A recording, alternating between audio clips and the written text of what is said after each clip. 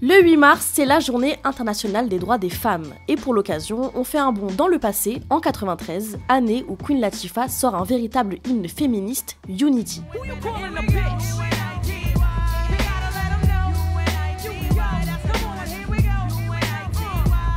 C'est sur le label Motown que l'artiste américaine sort ce morceau, extrait de son troisième album Black Rain, sorti la même année. Un titre important hier comme aujourd'hui où Queen Latifah nous confronte aux divergences entre les hommes et les femmes, évoquant harcèlement de rue, violence et insultes contre les femmes. Un titre puissant entre hip-hop et jazz, produit par KG du trio Naughty by Nature, qu'il crée en puisant dans les années 70 dans la discographie d'un groupe de jazz américain, The Crusaders. Le morceau en question s'appelle A Message from the Inner City et figure sur leur album The Second Crusade en 73.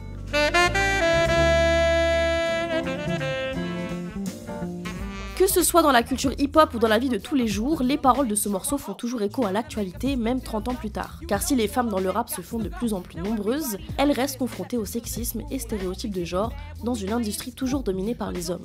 Un peu d'unité ne ferait pas de mal.